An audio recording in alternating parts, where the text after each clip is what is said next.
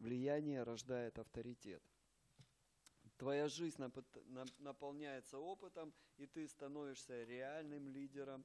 Давид был совсем молод, но он уже вел войны, обладал вот таким мощным авторитетом, вел народ как бы на войну. Это не всякому доверят вообще, понимаете, да?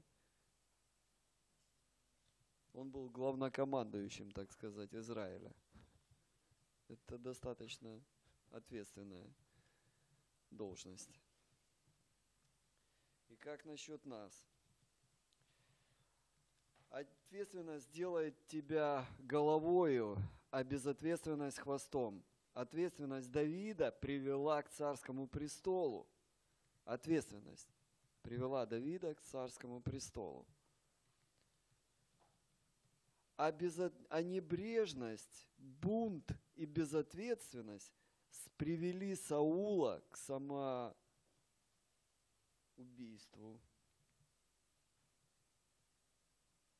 Помните, да? Небрежность, бунт и безответственность привели к потере власти и к самоубийству.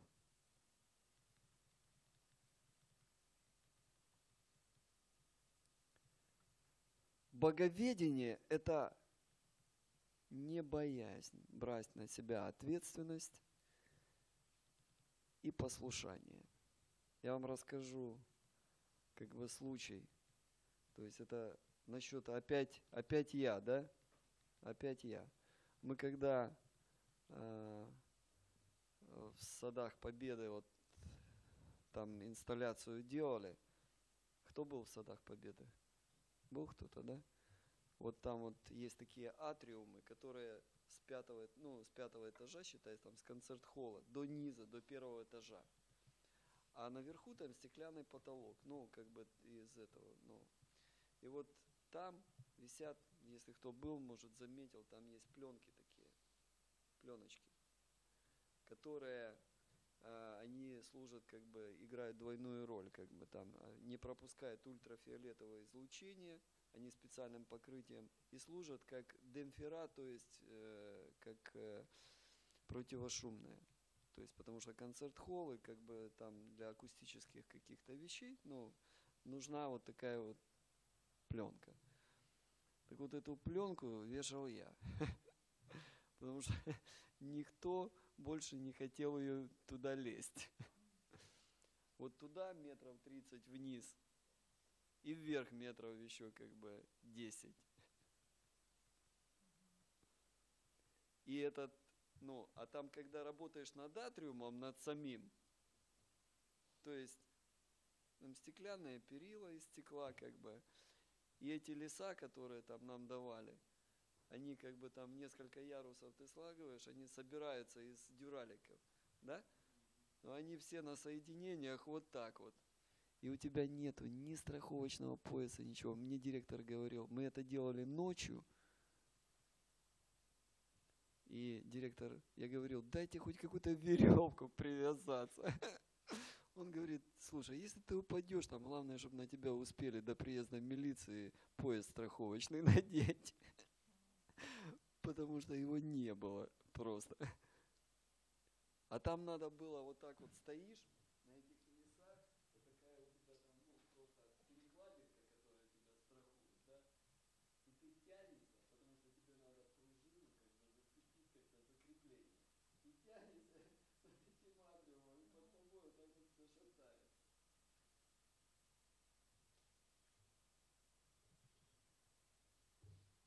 Так что ответственность, дорогие, приведет вас на высоту.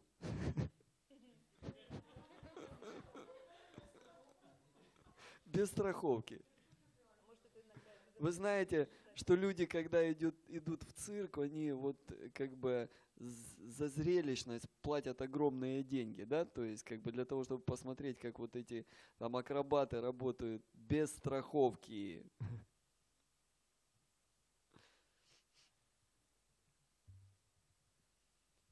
А безответственность приведет вас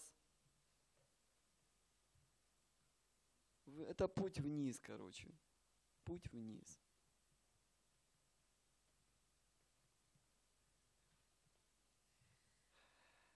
И если ты берешь чаще на себя ответственность, ты шлифуешь свое искусство.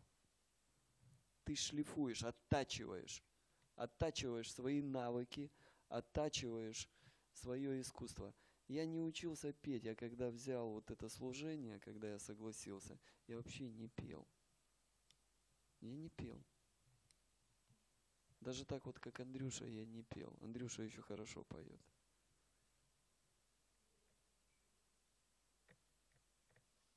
Я там себе что-то мычал под нос. И мне было тяжело тоже. Было очень тяжело. И если ты изредка занимаешься тем, всем, чуть-чуть тем, чуть-чуть всем, то поверьте, это не работает. Это никогда вас не приведет никуда. То есть фактически. Вы как бы служите, и вы можете так прослужить всю жизнь, чуть-чуть там, чуть-чуть сям. Как бы, и ничего так толком и не научитесь. Работает система. Система работает. Когда вы каждый оттачиваете все чаще и чаще, берете ответственность и оттачиваете свое искусство. Оттачиваете, оттачиваете и оттачиваете. Однажды это приведет вас наверх. Ну, мы делаем это не для того, чтобы это привело нас наверх, но это принесет славу Богу. Приносит славу Богу. Когда у вас появляется авторитет, признание, влияние, это приносит славу Богу тоже. Вам не обязательно находиться где-то наверху. Понимаете, да? Мы знаем многих людей из истории, которые не обладали там властью особенно, но имели огромнейшее влияние среди народа и авторитет.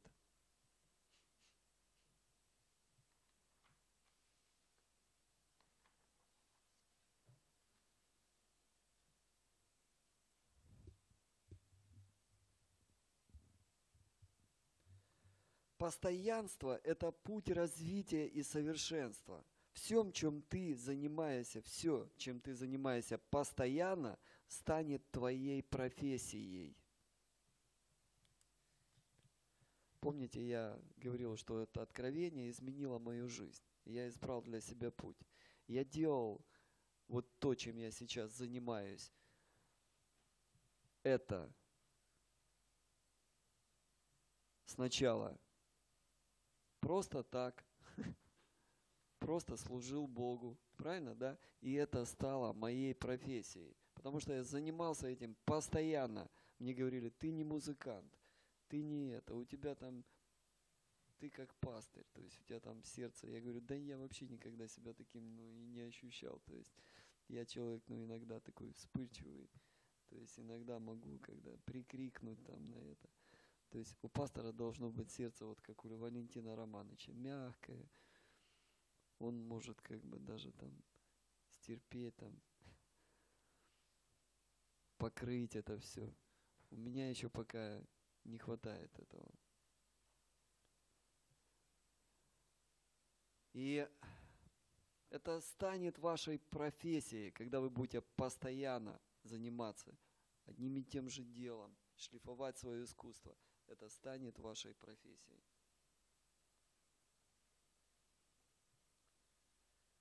ты будешь профессиональным Божьим служителем,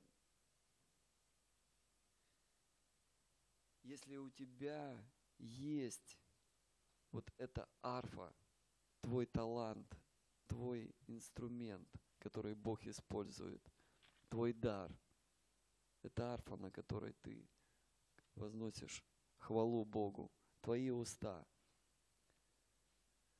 если у тебя есть эта арфа, и ты постоянно работаешь над этим, над собой, над этим инструментом, то однажды ты станешь профессиональным поклонником. Постоянство в одном деле это и есть система. Постоянство в одном деле и есть система. Все, что систематизировано в нашей жизни, принесет плод. Все, что мы делаем изредка и по настроению, будет неэффективно. Мало того, оно нам может принести горечь и разочарование. Знаете, сколько раз я уже пытался бросить это служение. Хотел. Просто, ну ты смотришь, ну упирайся, упирайся, пытайся там, и уже как бы и людей нанимаешь даже, ну как бы для того, чтобы ну, обучать людей и пению и все. И у них, не, ну, бывает не хватает, нету времени, нету как бы возможности, нету рвения. И ты смотришь на это, думаешь, ну зачем я вот это упираюсь, как бы? Ну зачем, зачем? Затем, что Бог тебе сказал.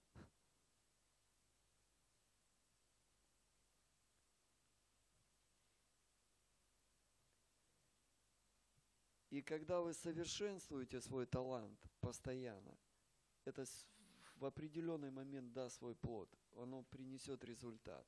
Если вы будете заниматься изредка, то есть если вот люди начинают, не продолжают, и потом разочаровываются, бросают, то есть они думают, что все приходит сразу. Нет, ничего сразу так. Вам никто не сказал, что все будет легко. Бог вам так не говорил. Бог говорит, Царство Божие усилием берется. Понимаете? Усилием.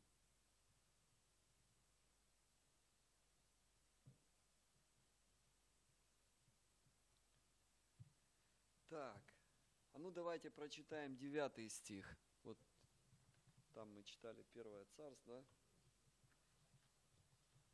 Первое Царство, 19 глава, 9 стих.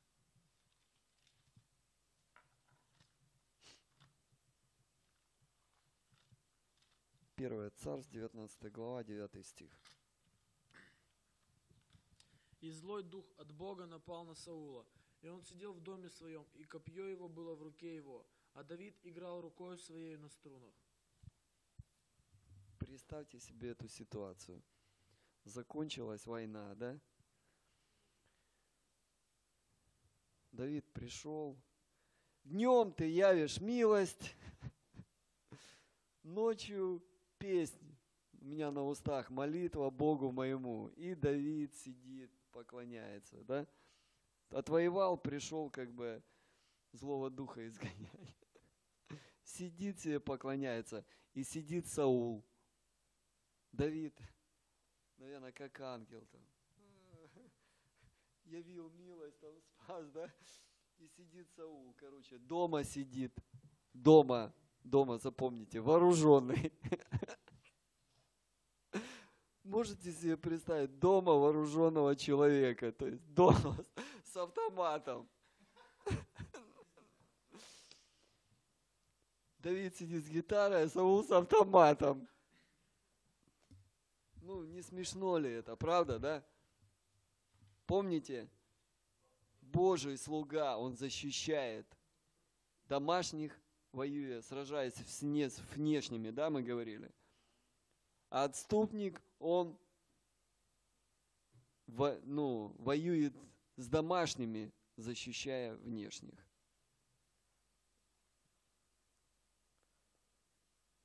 Вот это вот такая вот картина. Злой дух напал от Бога на Саула, позвали Давида, Давид там поет песни, славит Бога за то, что Бог явил милость, как бы. А Саул сидит с копьем, с автоматом, да, и думает, кого бы пристрелить вот здесь.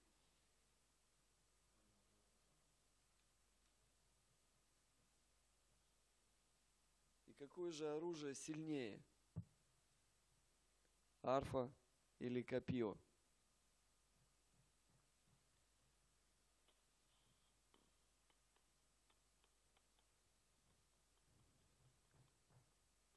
И хотел Саул пригвоздить Давида копьем к стене. Там говорится дальше. Божье присутствие, которое опускалось с неба, оно бесило, сводило с ума его. Он просто безумствовал. Представляете? Когда у тебя в руке копье или автомат, он обязательно выстрелит. Поверьте. Если человек в таком состоянии, он обязательно выстрелит этот автомат или это копье. И, Сави, и Саул думал, хотел уже пригвоздить Давида к стене этим копьем. То есть не получилось на войне. Думаю, сейчас вот я позовите мне по обыкновению Давида.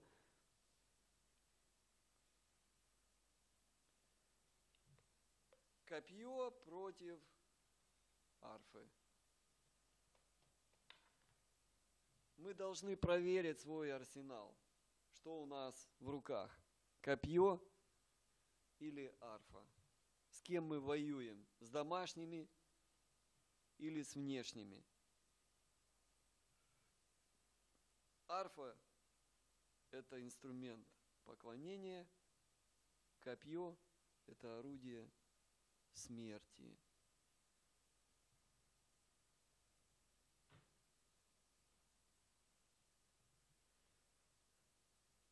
Писание говорит, что Давид отскочил от Саула. Дальше, там. Мы сейчас не будем, как бы вы можете дома почитать. Давид отскочил от Саула. То есть расстояние между ними было настолько, наверное, близким. Это как ну, на, на расстоянии вытянутой руки. Понимаете, да? То есть, и Писание говорит, он отскочил от него.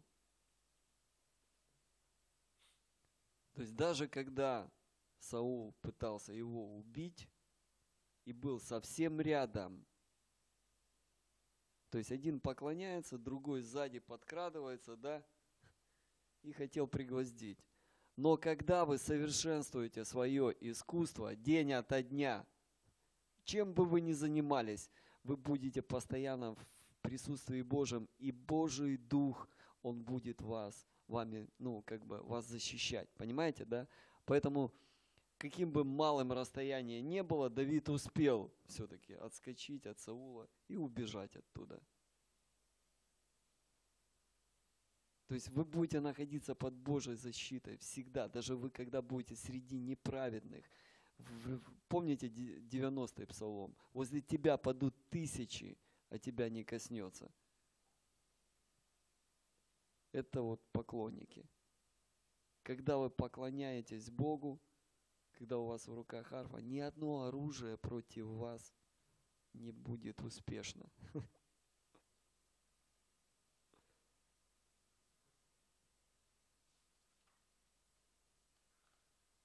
Не спит и не дремлет хранящий, да, хранящий Израиля – Какое преимущество быть поклонником? Не убоишься ужаса в ночи и стрелы, летящей днем. Проверьте, что в ваших руках. Арфа или копье. Поклонение – это не только вопрос наших личных отношений с Богом, но и вопрос нашей безопасности. Поклонение – это не только вопрос ну, наших отношений с Богом, но и вопрос нашей безопасности.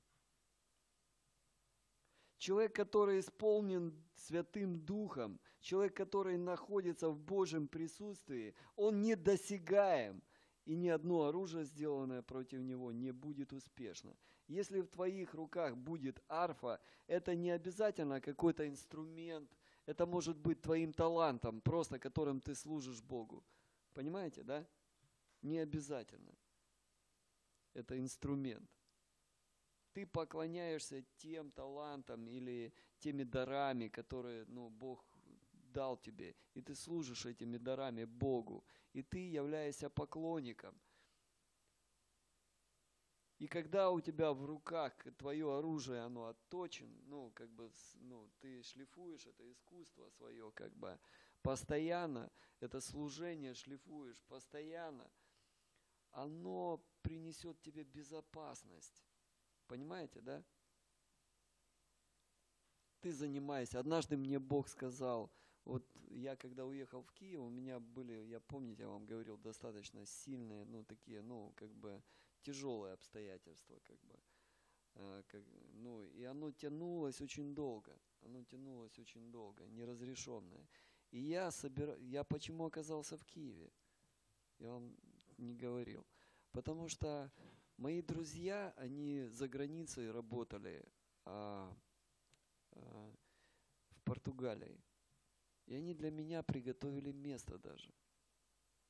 Я должен был ехать в Португалию, я уже ехал за визой в Киев. Я уже ехал с вещами, должен был получить визу. Они мне купили паспорт заграничный, сделали. Все сделали сами. Я даже ни копейки денег в это не вложил. Они мне купили паспорт, загранпаспорт. Э, хотели помочь мне вот так вот, ну, выбраться из этих всех, как бы, передряг, то есть, как бы, а, и я ехал в Киев за визой для того, чтобы выехать в Португалию и там работать водителем и садовником у шерифа. Я должен был там местного. Притом в курортном городе, в курортной зоне. Это все равно вот как в Крыму, там в Ялте, вот так вот как бы. Вот такое место для меня приготовили. Хорошие деньги, хорошая машина, там джип был. Я должен был поехать просто вот так вот там, газончики постричь, там, повозить шерифа. Притом шерифа, вы- когда вы возите, вы там можете, ну, реально человек обладает властью. Вы понимаете, да? То есть, ну, притом в хороших очень отношениях, как бы, и они долго готовили это место, там несколько лет. Я мог получить там зеленую карту, и можно там было как бы остаться вообще. И я приехал в Киев, и что-то там не клеилось с этой визой, там вот эти события в Югославии были, шенгенские визы, там, ну, как бы немецкое посольство там как бы так очень как бы тщательно все проверяло, понимаете, да? Там очень много беженцев было как бы из Югославии, то есть э, в эти вот страны Европы как бы. И они как бы ужесточили контроль, то есть очень мало, только как бы это. И вот не клеилось с этими визами, и я там завис, там, там уже неделя проходит, я там вешу вторая, а там вот в миссии были такие служения поклонения. То есть, ну, ты приходил там и просто молился, поклонялся Богу, стояли инструменты, стоял микрофон, кто хотел, там у кого было слово там пророческое или там молитва, подходили, молились, то есть как бы люди приходили, уходили, это такая вот как бы текучка была. И я ходил, потому что вот этот вот друг, с которым я работал на фирме, он уже был в этой миссии как бы эм, администратором. И он мне говорит, давай приходи на служение, пока ты там у тебя решается, ходи. И я вот хожу, поклоняюсь, там, это, молюсь, и Бог мне говорит, это не твоя война, это моя. Ну, Бог, я хочу, ну, как бы разрешить, оно мне мешает служить, как бы, и все. Он говорит, это не твоя война, а ты стой, ты служи мне, и стой и смотри на спасение Господне. И в моей жизни так и произошло. Я, служа Богу, не работая где-то, ну, в бизнесе, я сумел погасить эти все задолженности. И там немалые деньги были, поверьте. Меня и к судам привлекали, и вс- Бог везде меня защищал. Так, я когда, я помню, здесь вот еще эм,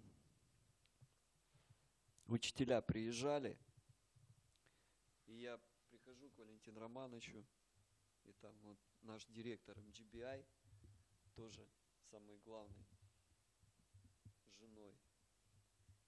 И я говорю, надо ехать, там на суд вызывают, там прокуратуру, то есть как бы к следователю, то есть как бы там уже тяжбы такие, как и мы молимся. Я сажусь в автобус, я только сажусь в автобус. Представьте, я вижу, как два ангела так фу, сбоку. Как только автобус тронулся с места, два ангела сопровождали автобус, ну, как бы реально, как бы на протяжении всей дороги. Зима скользкая, и вообще транспорт, движение перекрыто, и этот автобус едет, и вот до самого конца. При том, что вот когда в автобусе зимой много людей, там топят, да, эти большие там, ну, и окна, они замерзают. То есть они как бы налить такая на окнах. И представьте себе, по всему автобусу, по всему автобусу замерзшие окна, у меня окно единственное с моей стороны чистое. Вот так, с одной и с другой стороны. Вот где я сидел, вот в этом ряду, как бы, вот с одной и с, этой, и с другой стороны окна чистые. Я вот как духом вижу их, то есть я не вижу их физическими глазами. Я как духом вижу. И самое интересное, я вот как сел, а я одевал, только садился, одевал наушники, включал себе там песни прославления и ехал и как бы так, ну, как бы пребывал вот в этом, знаете, то есть как бы, и я вот одеваю эти наушники, и я вижу этих ангелов, чувствую их присутствие бы, огромнейших при том, как бы. И я говорю, как твое имя? И я слышу Аламот. Аламот. И я когда приехал, и Валерий Ивановича, у меня это слово, оно вот, вот сидело вот здесь, вот, вот как бы постоянно. Я приезжаю и подхожу к Валерию Ивановичу, к нашему Деме. И говорю, Валерий Иванович, вы знаете такое слово вообще есть? Аламот. Он говорит, да. Это аламот, это в зависимости от произношения сефарского и ашкенадского. На сефарском алам, аламов, а на э, э, этом ашкеназе алам, аламот. Или наоборот, я тут что-то не помню. Аламов и Аламот. И это означает вселенский. А потом я уже в Библии нашел как бы место, где сказано Псалом такой-то на орудии Аламов. На музыкальном орудии Аламов. Даже название орудия есть такого музыкального, такого инструмента. Поэтому, когда вы находитесь в Божьей воле, когда вы являетесь поклонниками Божьими, то есть Бог вас будет защищать везде.